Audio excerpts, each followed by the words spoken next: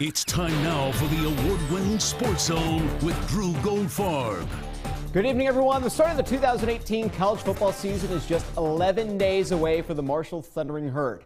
On Tuesday night, fans gathered in Charleston for the 21st annual Paint the Capital City Green event.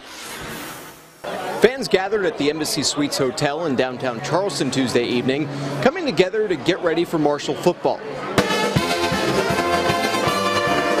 Money raised by the event's ticket sales, silent auction, and raffles go towards scholarship funds for the university. Football team and head coach Doc Holliday also took part in the event,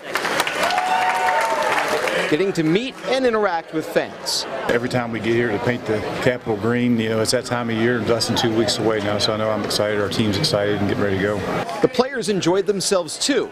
Before making their way inside, running backs Keion Davis and Tyler King even tried their hand out at reporting. You've got it here live. We're in Charleston, West Virginia. The Marshall Thundering Herd is here for this big event.